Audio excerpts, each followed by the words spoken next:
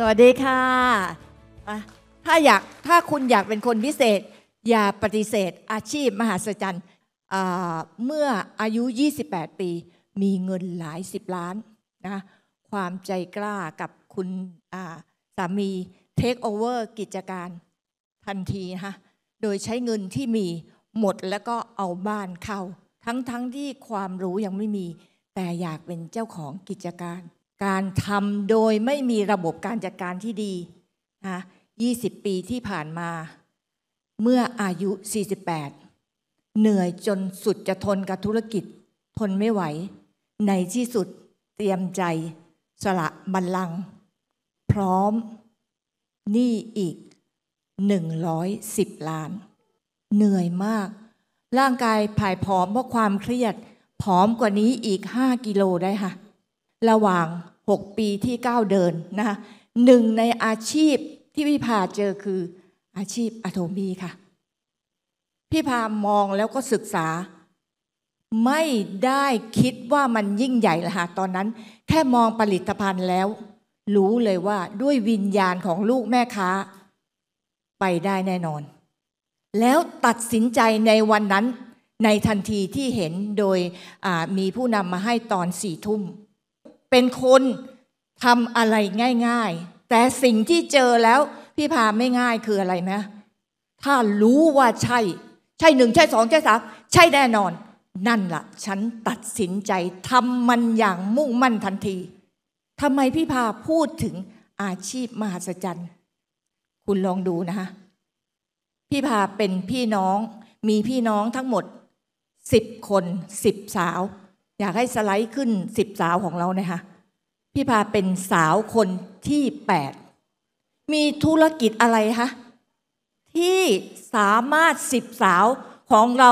ทำได้ทุกคนและใช้มันทุกคนค่ะ นี่คือสิบสาวของเราค่ะนะ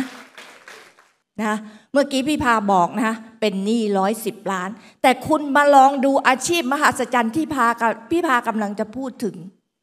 โรงงานต้องสร้างนะเมื่อก่อนผู้พามีโรงงานสีไร่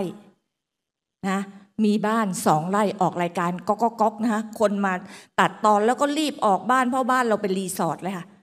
ทุกอย่างสูญสลายไป เพราะความที่เราระบบการจัดการไม่ดี พี่พาไม่มีกุญซือแบบประธานปาร์คนะคะอาชีพที่ทำให้พี่พาเกิดได้ เรามองด้วยความเป็นนักธุรกิจนะคะไม่ใช่มองแค่ผู้ใช้ ฉันจะอยู่มันแบบสบายด้วยอะโทมี่นี่ละแล้วถึงเวลานั้นแล้ว พอจับธุรกิจแล้ว หลายหลายคนนะที่คิดว่าทำอะโมอะโทมี่แล้วไม่ได้เงิน คุณทำแบบไหนอะคะ คุณทำแบบอยากจะทำก็ทำเหรอคะหรือคุณทำแบบวันละชั่วโมง พี่พาเป็นคนมีตื่นขึ้นมา ลืมตาปุ๊บพี่พาจับทันที คิดอยู่ตลอดเวลาหนึ่งถึงแปดในเอทคอร์เลยบอกผู้นำตลอดว่าไม่เคยลงไปดูเลยท่องไม่เคยเป็น แต่ทุกครั้งที่ฉันดูข้อหนึ่งถึงข้อแปดเฮ้ย ฉันทำแบบนี้นี่นา มันจะมีอาชีพแบบไหนนะทำเวลาไหนก็ได้ค่ะทำด้วยใช้จริตแห่งความจริงใจ ไม่ได้ใช้อะไรมากมายเลยค่ะ กับอะโทมี่ อะโทมี่ไม่เคยเปลี่ยนราคา มีแต่ราคาลดลงนะคะตบมือให้กับความสุดยอดของประธานป้าของเราหน่อยค่ะนะคะอะโทมี่สิบสองปีที่ผ่านมา ไม่เคยเปลี่ยนแผน เมื่อไหร่ที่คุณเจออาชีพมหาศจรรย์แล้ว คุณลองคิดดูนะคะเราเจอมาแล้ว เรารู้ว่ามันใช่ เรารู้ว่าอนาคตจะไปได้ดีแน่นอน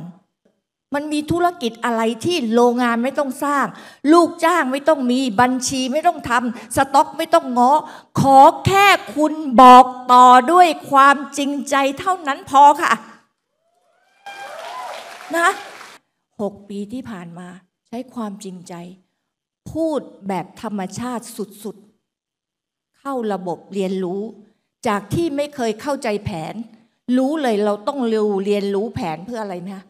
เพื่อทำให้คนเดินตาม ได้เงินและอยู่กับอะโทมีให้ได้